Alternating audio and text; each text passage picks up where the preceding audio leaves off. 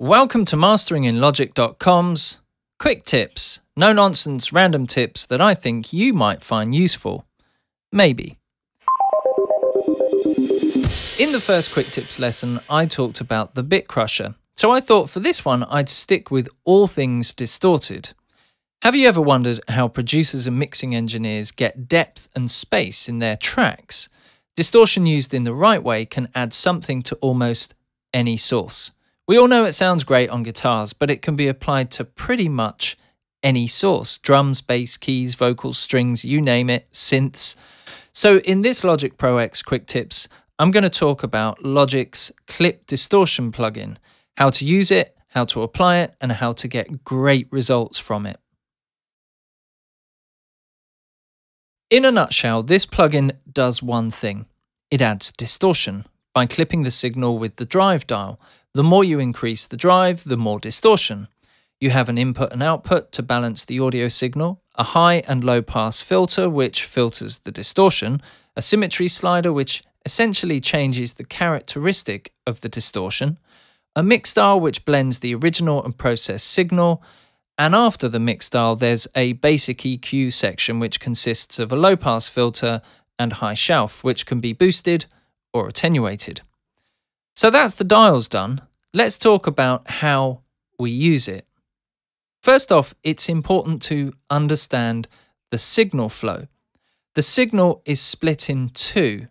The unprocessed signal runs straight to the mix dial, and the processed signal goes through the drive dial onto the filter and symmetry section, and then to the mix dial, where you blend the signals and process both together if you need to with the EQ section.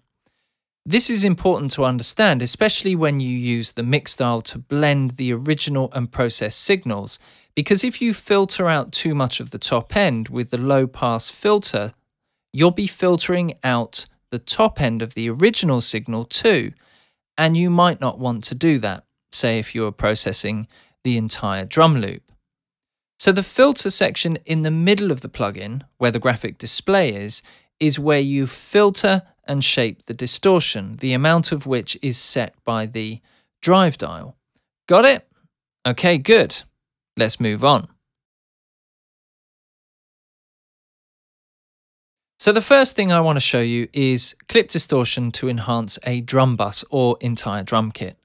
I've loaded drummer and stuck with the first preset of the loop. The loop isn't important. What is, is the sound that we create. Notice I've used a send. The reason is I want to make use of the EQ section but not filter the original drum sound. If I place the plugin on the insert and drop the low pass filter to 1 kilohertz, I'll lose the top end of the drums. Yes, I could use the mix dial, but I'll still be filtering the original drum sound if it was placed even on an insert. So let me show you what I mean.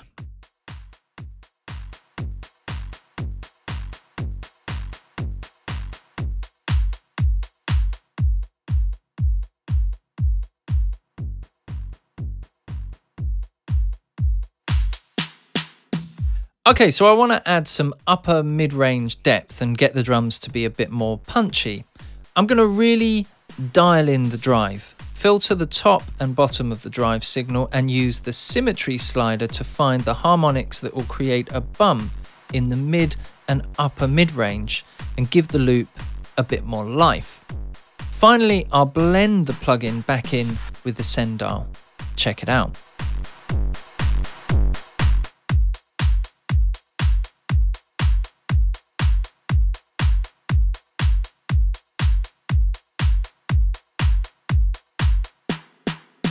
Notice there's more energy and it's a bit more gritty and animated. Because I've gone crazy with the drive, the bus dial is really low. The idea here is to add a tiny blend that will be enough to add to the sound. You don't really notice it's there, but you definitely notice it when it's not there. For the bass, I want to enhance the top end by adding some harmonic distortion and then boost it with the shelf from 11k up. I've placed this one directly on the insert and mixed it low. I'm not losing the original bass, so having it on the insert is just fine. When soloed, it will sound a bit much, but combined with all the instruments, it will blend perfectly. Trust me. For the tone and clip filter, I've removed the low end and left the top intact because that's the area I want to agitate with distortion. To get the right harmonic distortion, I simply moved the symmetry slider until I found the sound I wanted.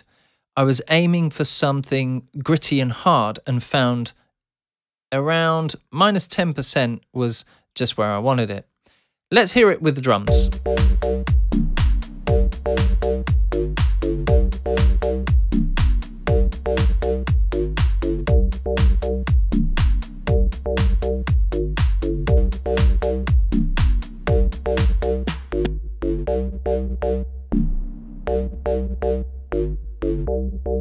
So that's all for now, folks.